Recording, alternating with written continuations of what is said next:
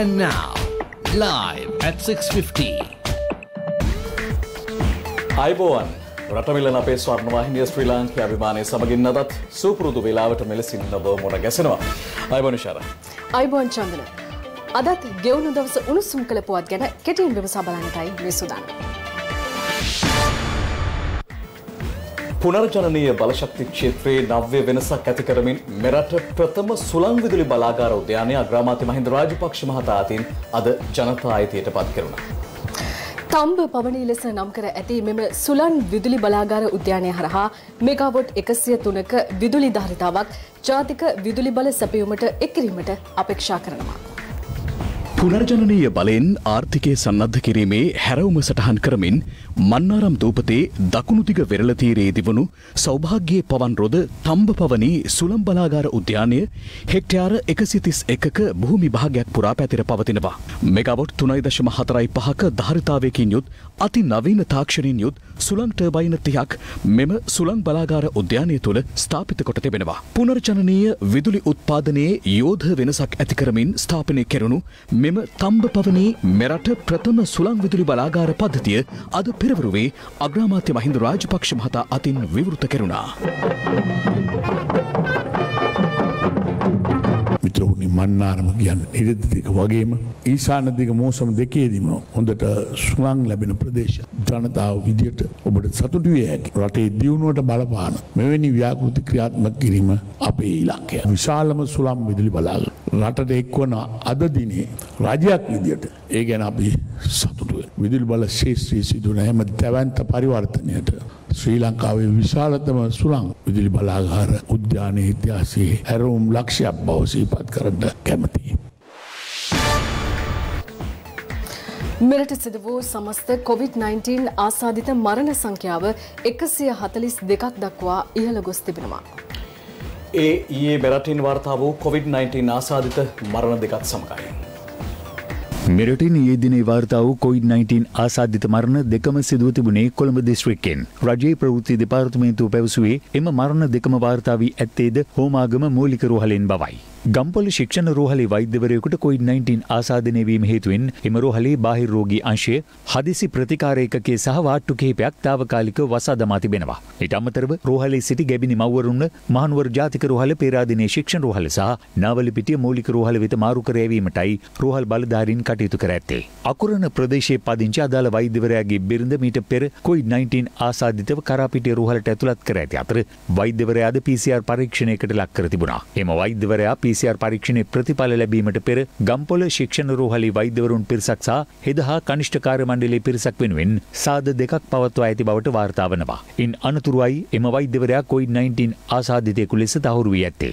ඒ අනුව අදාළ සාදවලට සහභාගී වූ වෛද්‍යවරුන් 50 දෙනෙකු, හෙද කාර්ය මණ්ඩලයේ 19 දෙනෙකු, කනිෂ්ඨ කාර්ය මණ්ඩලයේ 13 දෙනෙකු සහ රෝහල් පොලිසිය 4 දෙනෙකු නිරෝධායනයට යොමු කිරීමටයි සෞඛ්‍ය අංශ පියවරගෙන ඇත්තේ. ගම්පොල පෞද්ගලික රෝහලක වෛද්‍යවරුන් වෙනුවෙන් සාදය පවත්වා ඇති අතර එම පෞද්ගලික රෝහලද තාවකාලික වසදම ඇති බවයි අප වාර්තාකරු පැවසුවේ. අඹගමු සෞඛ්‍ය වෛද්‍ය නිලධාරී කාර්යාලය යටතේ පාලනය වන ප්‍රදේශවලින් COVID-19 ආසාදිතයන් 35 දෙනෙකු වාර්තා වී තිබෙනවා. දඹුල්ල ආර්ථික මධ්‍යස්ථානයේ සේවය කරන පුද්ගලයෙකුද COVID-19 ආසාදිතයෙකු ලෙස හඳුනා ගැනුණා. අදාළ පුද්ගලයා COVID-19 ආසාධිතයෙකු බවට දැනුම් දෙන අවස්ථාවේදීත් ඔහු එම ආර්ථික මධ්‍යස්ථානයේ සේවය කරමින් සිටියේ මෙලෙසින්. ඈලියගොඩ දිවුරුම් පිටි ඇඟලුම් කර්මාන්ත ශාලාවෙන් හඳුනාගත් COVID-19 ආසාධිතයන්ගේ ආශ්‍රිතයන් 14 දෙනෙකුද අද ආසාධිතයන් ලෙස හඳුනාගත්තා. අයවැය කාරක සභාවස්ථා විවාදයේදී මහාමාර්ග ප්‍රවාහන අමාත්‍යංශය හා ග්‍රාමීය මාර්ග හා වාහන නියාමන රාජ්‍ය අමාත්‍යංශවල වැය ශීර්ෂ අද විවාදයට ගැනුණා. මේ එහිදී පළ වූ අදහස් කිහිපයක්.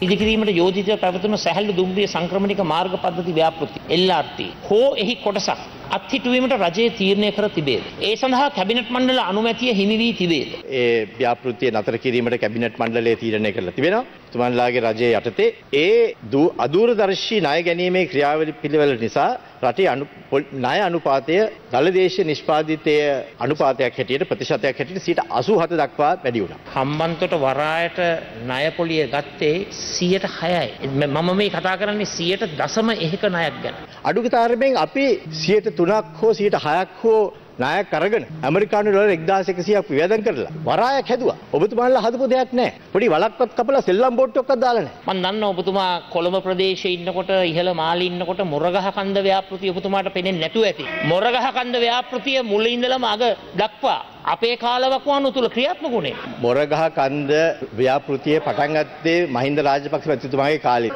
ගරුව විපක්ෂ නායකතුමා උත්තර what is the දෙන්න- point of order? You mentioned my name. You pointed at me. මංගාව තියෙනවා මේ පොත නිවාඩ් කබ්‍රාල් මැත්තුමාට මම තැපැල් කරලා යවන්නම්. මේක තියෙන අපේ කාලේ කරපු ව්‍යාපෘති ටික. නැව් නැති වරායවල් ගුව- ගුවන් යානා නැති ගුවන් තොටුපොළවල් ඒ වගේම කැලෑවල් වල ක්‍රිකට් ක්‍රීඩාංගන සම්මන්ත්‍රණ ශාලාවල් ඒ කෝටි ගානක ණය ගෙවන්න උනේ අපට. Honorable Cabral is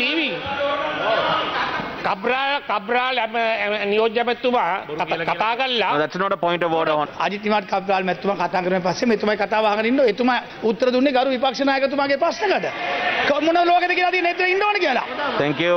ඔබතුමා වයර් මාර්ග කරන උදේ පාන්දර Kabir Kashim. දේශපාලන පලිගැනීම් පිළිබඳව සොයාබැලීම සඳහා පත් කළ ජනාධිපති පරීක්ෂණ කොමිෂන් සභාවේ වාර්තාව ජනාධිපති ගෝඨාභය රාජපක්ෂ මහතා වෙත බහර දී තිබෙනවා. අද පෙරවරුවේ ජනාධිපති කාර්යාලයේදී මෙම වාර්තාව ජනාධිපතිවරයාට භාර දී ඇත්තේ කොමිසමේ සභාපති විශ්‍රාමික ශ්‍රේෂ්ඨාධිකරණ විනිසුරු උපාලි අබේරත්න මහතා විසින්. දෙදස් විසේ ජනවාරි මස නවනදා දේශපාලන පලිගෙනින් පිළිබඳව සොයා බැලීම සඳහා ත්‍රිපුද්ගල ජනාධිපති පරීක්ෂණ කොමිෂන් සභාව පත් කෙරුණා. අදාළ කොමිෂන් සභාව වෙත පැවරුණේ අල්ලසෝ දූෂණ චෝදනා විමර්ශන කොමිෂන් සභාව පොලිස් මූල්‍ය අපරාධ කොට්ටාශය අපරාධ පරීක්ෂණ දෙපාර්තමේන්තුව සහ පොලිස් විශේෂ විමර්ශන ඒකකය විසින් සිදු කරන ලද විමර්ශන හේතුවෙන් දෙදහස් පහළවේ ජනවාරි මස අටවනදා සිට දෙදහස් දානවේ නොවැම්බර් මස දහසේ වනදා දක්වා දේශපාලන පලිගැනීමට ලක්වුවන් පිළිබඳව සහ ආශ්‍රිත පසුබිම් සොයාබැලීමටයි. එහිදී දේශපාලන පලිගැනීම් පිළිබඳව සොයාබැලීම සඳහා පත් කළ කොමිසම බරපතල වංචා දූෂණ රාජ්‍ය සම්පත් වරප්‍රසාද බලයසා අධිකාරිය අනිසි ලෙස භාවිත කිරීම සම්බන්ධයෙන් දීර්ඝ විමර්ශනයක් සිදු කර තිබෙනවා. දේශපාලන පලිගැනීම් පිළිබඳව සොයා බැලීම සඳහා පත් කරන ලද ජනාධිපති පරීක්ෂණ කොමිෂන් සභාවේ වාර්තාව ජනාධිපති ගෝඨාභය රාජපක්ෂ මහතා වෙත බහර දී තිබෙනවා. අද පෙරවරුවේ ජනාධිපති කාර්යාලයේදී මෙම වාර්තාව ජනාධිපතිවරයාට බහර දී ඇත්තේ කොමිසමේ සභාපති විශ්‍රාමික ශ්‍රේෂ්ඨාධිකරණ විනිසුරු උපාලි අබේරත්න මහතා විසින්. පුවත්පත් දැන්වීමකට අනුව ලැබුණු පැමිණිලි 1971ක් විමර්ශනයට ඉදිරිපත් කර ඇති අතර එම වාර්තාව වෙළුම් තුනකින් සහ පිටු දෙදහස් හතලිස් තුනකින් සමන්විතයි. ඒ තමයි ගෙවුණු දවස උණුසුම් කළ පුවත්. ඔව් ඉගැන වැඩ විස්තර සමගින් අපි සුපුරුදු ලෙසින් ඔබව රාත්‍රයටට මුණ ගැසෙනවා. සුබරාත්‍රය. සුබරාත්‍රී.